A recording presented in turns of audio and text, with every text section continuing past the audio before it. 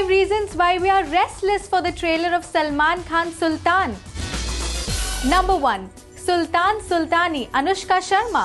It will be interesting to watch Anushka Sharma playing the role of a wrestler. It was reported that even Salman was impressed by her moves. Number 2. The sport called wrestling.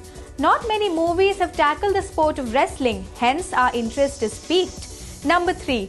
Dhobi Pachad. Watch the movie for some of the really cool wrestling moves. Number 4. Dhamakedar Dialogues. A Salman Khan film is incomplete with some kick-ass dialogues.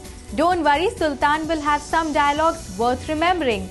And lastly, a fresh jodi, a fresh romance.